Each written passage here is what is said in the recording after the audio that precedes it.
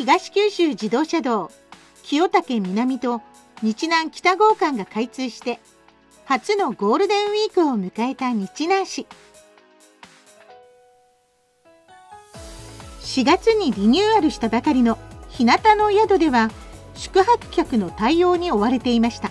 おかげさまでですねゴールデンウィーク中はずっと満室をいただいております。えっと、高速も開通しまして宮崎市内から30分程度でこちらまで来れるようになりましたので都城あと宮崎エリアの方から結構多くいらしてもらってます。宮崎市から訪れた宿泊客は？えっと、高速がずっとつながっててですぐ着いてびっくりしました。はいすごく早かったです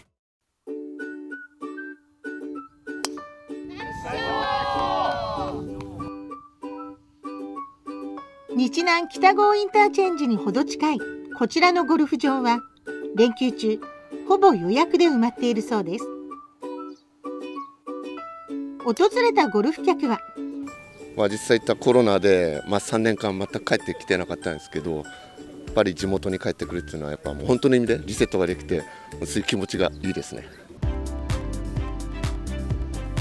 東九州自動車道から離れた国道220号沿いにある。宇戸神宮や三メッセ日南もにぎわいを見せていました。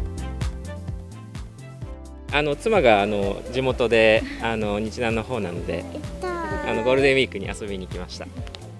どういうルートで来られたか尋ねてみると。あのー、新しく高高速が通ったあの北郷のところまでですね高速であの車で来ました短時間でこう着くようになったので、はい、かなりこう来やすくなったというか。またこんな声も。あもう去年ゴールデンウィークに来たんですけど雨で見れなかったんですよ。そのリベンジです。帯観光駐車場は県外ナンバーの車がずらり。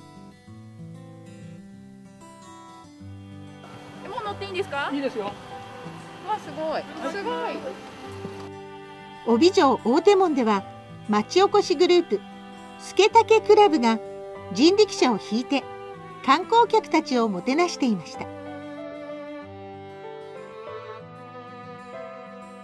楽しかったです。昔の建物とかを見たいっていうことで帯に来ました。これもインターネットで見れますから。まあ、日南テレビで検索すると。本当ですか、はい、流れますか、はい、松尾の丸や余剰館などでは五月人形の展示があり訪れた観光客たちは初夏を感じていました。